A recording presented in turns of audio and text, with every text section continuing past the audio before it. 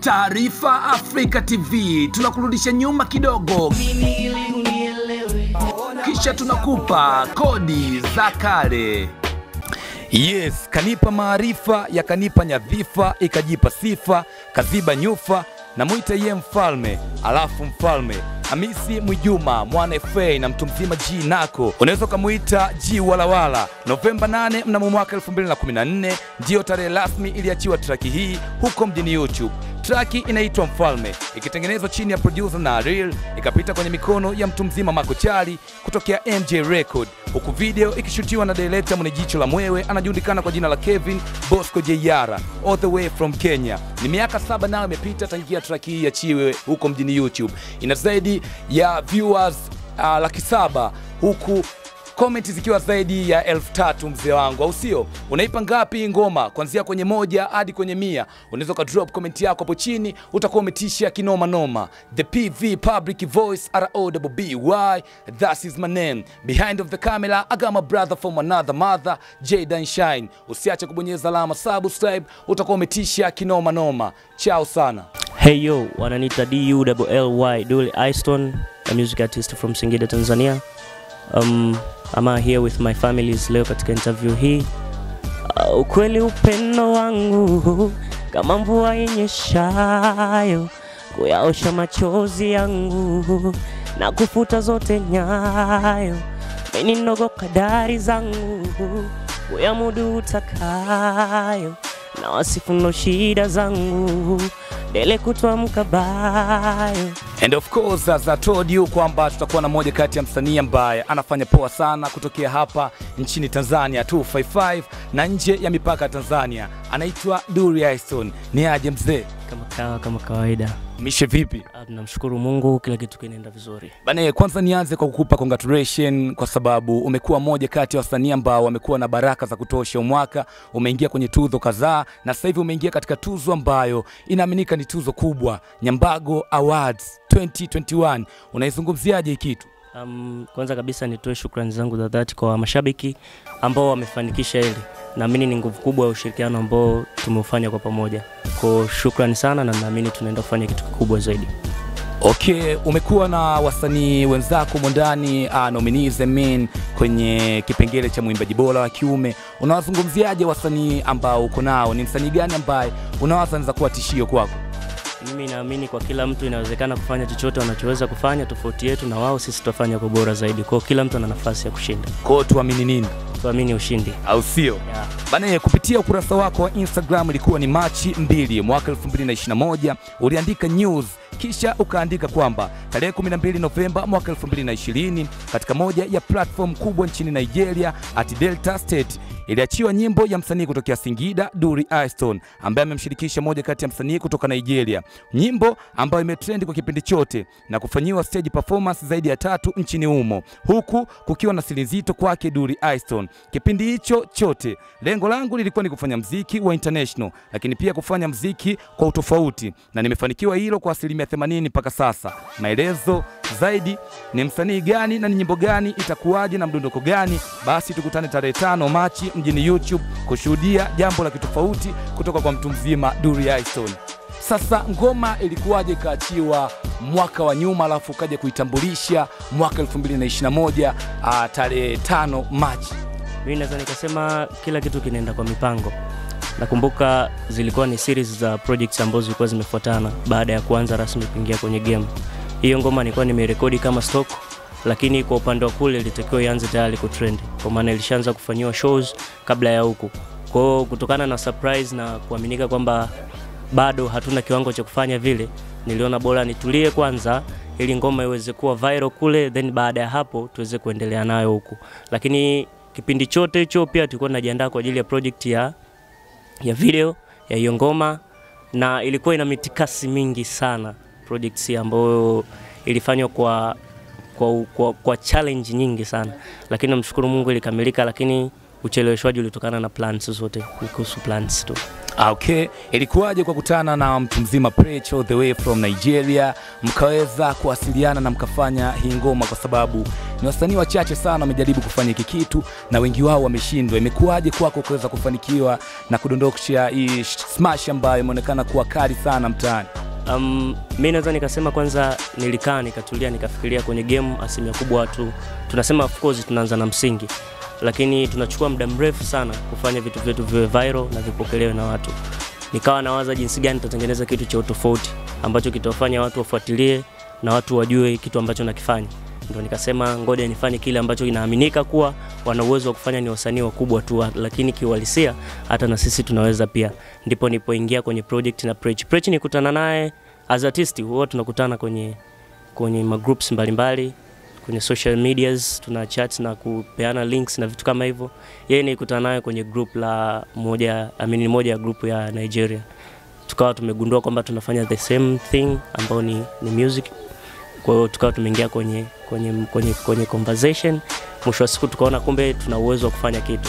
Actually lilikuwa ni lengo langu pia tangia awali kufanya kufanya kufanya hiyo project ya tofauti, ndipo tulipoingia kwenye project na tukafanikiwa kuikamilisha, na ilichukua muda sana, kwa sababu project nakumbuka ilianzia Nigeria kwa, kwa Don Jello producer, lakini ilivyokuja huku ikaja kwa producer anaitwa Zila kidogo mambo yakatokea kitofauti pale, studio ikawa imefungwa, project tukairudisha kwa AP. Kwa project ilikamilika mixing and mastering pale, huku data zote tukitransfer kutoka pale kwenda Nigeria, na project ikakamilika kama hivyo. Ah, okay. Ah, nikikwambia Septemba 4 mwaka 2021, wewe unakumbuka nini mzee? Ah. Nina matukio mengi sana gozi, kumbuki sana, nafikiri ni, ni swala la kukumbushwa pia. Ngoma yako ya mwisho unakumbuka ulirelease ilikuwa ni lini? Nadhani ni miezi miwili iliyopita. Ni miezi miwili iliyopita. Sasa ndio tarehe ambayo nimekutajia kwamba ulidondosha ngoma yako. Ngoma inajulikana kwa jina la Huba, ni moja kati ya track ambayo imefanya poa sana. Umeshawahi kufanya au kuwaza kufanya remix I mean, na msanii yoyote ambaye atakuwa ni mkubwa zaidi uweze kuipushi track iweze kusogea, kwa sababu mapokezi yameonekana ni makubwa sana, na wasanii wa sasa hivi wakifanya ngoma zikawa kubwa huwa wanafanya remix ili kuweza kupushi mziki uweze kwenda viral. Yep, hiyo idea ipo na sio idea ya Huba tu. Idea ya kufanya remix ni idea ambayo imeanzia kwenye ngoma ya yani nitamwambia nani, ambao ni ngoma yangu ya kwanza kabisa nilofanya na Golden Junior, lakini idea ya kufanya remix pia ni idea ambayo ipo na ngoma moja inaitwa Nitasahau, ambao pia naamini kila kitu ni mipango, na sasa hivi nafanya juhudi nisitumie nguvu kubwa mimi kuwatafuta wao, isipokuwa kazi yangu ionekane, wao watake kufanya kitu na mimi, na hata kama nitahitaji basi nisitumie nguvu kubwa, lakini hiyo ipo idea ya kufanya remix kwa hizo ngoma tatu ambazo watu wanazikubali na wanazipenda na ni ngoma kali. Yeah, that is good mzee. Uh, Amapiano ni mziki ambao umetengenezwa kutokea South Africa. Ni moja kati ya saundi ambayo imetake place kubwa sana sasa hivi duniani, au sio? Ukiwa kama msanii umeshawahi kuwaza kufanya ngoma yote ya mapiano? Sio kuwaza tu, nilishafanya pia. Ni project ilikuwa kwa AP. Nakumbuka tuli, tulifanya na msanii mmoja ndio Drama Dreamer, tulifanya kitu haikuwa featuring but baadaye kuna vitu ambavyo vilikuja vikatokea, uh, nikawa nimeona ah, haina umuhimu zaidi, kwa sababu still bado nina projects nyingi na ni mziki ambao ni transition unapita. Ukimtumia mtu link akaifungua alafu ajashia kitu chochote, yani mikausho mikali, na kesho kakutana naye akakuchangamkia kama juzi, huyo mtu waga wewe una, una, unaweza ukamuidentify kwa namna gani? Hiyo huwa inatokea mara nyingi sana, na naweza nikasema sio kwamba mimi tu na, na iface no, labda naweza nikasema on behalf of my family ya music artist kwamba huwa inatokea, si asilimia kubwa sana waga. Ndio maana nasema naamini sana WhatsApp kwa sababu ndio, ndio social media ambao asilimia kubwa huwa tunatumia kumit na, na, na, na mashabiki zetu. Sasa inatokea mtu umemtumia link zaidi ya mara moja, lakini asifungue pia. Mi ishie kunitokea, kuna mtu nishie kumtumia link, sio broadcast link, ni link direct siku ya kwanza siku ya pili almost zaidi ya siku nane tofauti tofauti, yani linki nane tofauti tofauti, anazi blue tick anaziacha, lakini sikukata tamaa, nikaendelea kumtumia linki.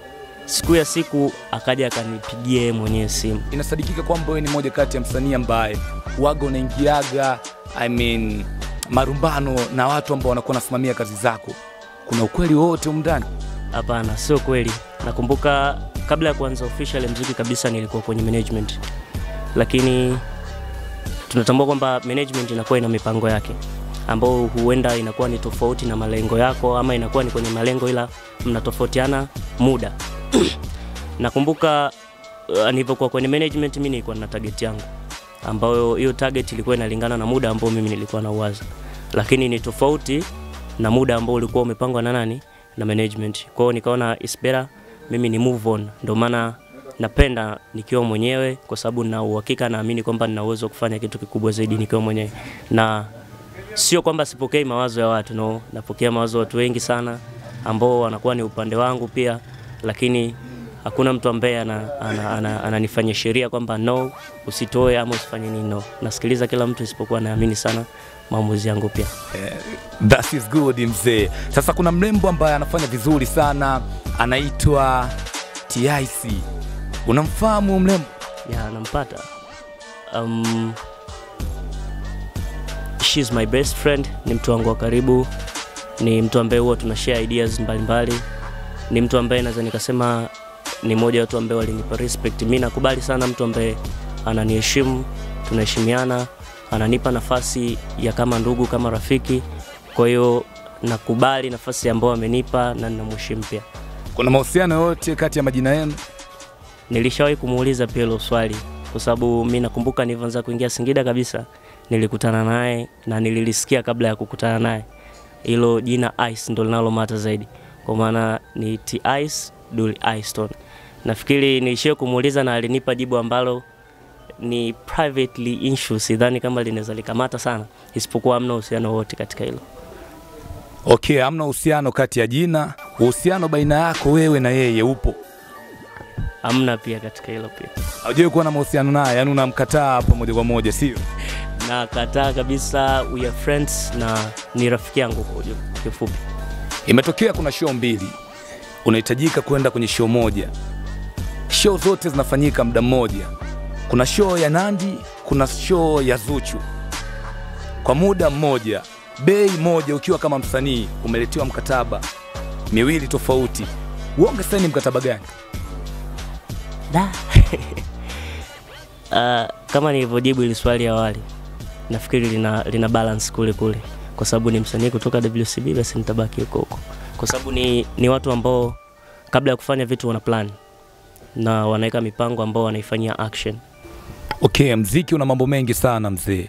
Umeshawahi kuwaza kwenda kwa mganga ili uweze kuongeza vitu fulani ambavyo unahisi labda vimepungua katika mziki wako? hapana sijawahi kuwaza najiamini yeah. So watu ambao wanaenda uwaga wajiamini kwa maneno yako.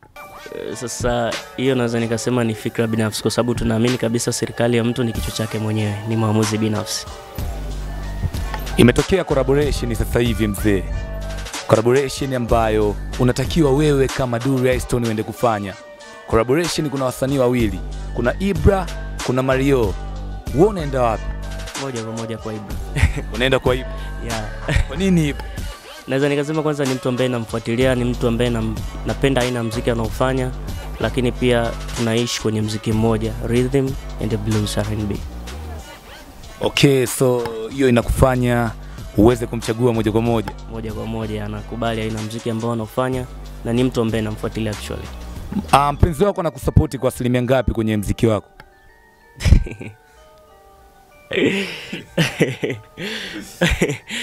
Ah, bado hatujafikia level hiyo, isipokuwa na mashabiki wa kike ambao wanasapoti kwa asilimia kubwa.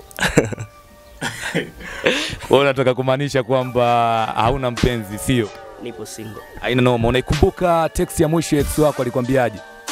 nipo single, Text ya mwisho ya ex wako alikwambiaje? nipo single. Hujawahi kuwa kwenye mahusiano, sio? Nichekuwa kwenye mahusiano ambayo yanahusiana na ngoma ya Nitasawa, E, kivipi hapo? Sijakuelewa mzee. collection ya mahusiano yote yapo kwenye Nitasawa. Mimi, Kuna- mimi nipo single. Nitasahau ni neno ambalo linakuja baada ya mtiririko wa matukio fulani. huenda kuna matukio ambayo yalikupata huku nyuma ndo ukaamua ku, kuingia studio na kurekodi ngoma nitasahau Kuna ngoma mbili ambazo ni naweza nikasema ni real life stories ambazo zinaihusu jamii, kwa sababu mimi naamini katika kureflect something. Ngoma ya kwanza ni nitamwambia nani, ni story ambayo ilishia kumkuta moja ya rafiki wa rafiki yangu, na ni ngoma ambayo niliimba kama ilivyo. Ngoma ya pili ni ngoma inaitwa Nitasahau, naweza nikasema ni ngoma ambayo nai appreciate kulingana na mwandiko na melodies ambazo nilitumia mule. Ni ni real life stories ambazo zinahusu mahusiano mengi. Kwa hiyo sidhani kama inanihusu sana mimi, isipokuwa ina vipengele ambavyo vinahusiana na jamii na vinanihusu mimi pia.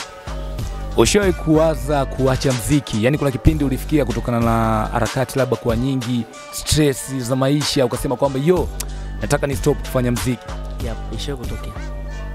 kwa nini Kuna wakati challenges zinakuwa zinazidi kiwango, yaani unaona da, mbona hizi tena sio changamoto, it's like something different ambayo inakuwa inatokea beyond the reality, lakini at the end of the day hauruhusiwi kufanya sana maamuzi ukiwa kwenye kwenye hasira ama ukiwa kwenye deeply streets ambazo ziko opposite na kitu ambacho na kitarget. Kwa hiyo uh, baadaye natulia na vitu kama hivyo, nakuja kujikuta sasa narudi tena kwenye mstari. okay international collaboration ambao unawish kuifanya nilishawahi kufanya international collaboration na moja ya artist huyo Preach, ambayo pia ipo nyingine ni collaboration ya wasanii watatu, lakini zingine zote is all about plants. Naamini zinakuja na nina focus pia na niko mbioni pia kufanya hicho kitu ambacho nakiwaza pia hizo international collaboration ya ipo. Banes, uh, mi nikutakie good time. Una kitu gani ambacho ungeweza kushare na washabiki zako, unaweza ukawaambia kupitia Taarifa Afrika TV? Um, kwanza kabisa napenda kushukuru most of my families. Naweza nikashukuru amini Joe Fashion anapatikana Singida. Yeye ni muuzaji mzuri wa hizi coats za kisanii, ukitaka kuzipata ni yeye ndo aliyenivalisha kwa muonekano huu simple but sure. Ana uhakika wa codes ambazo zinakuletea zina, zina, zina, zina muonekano wa kisasa zaidi.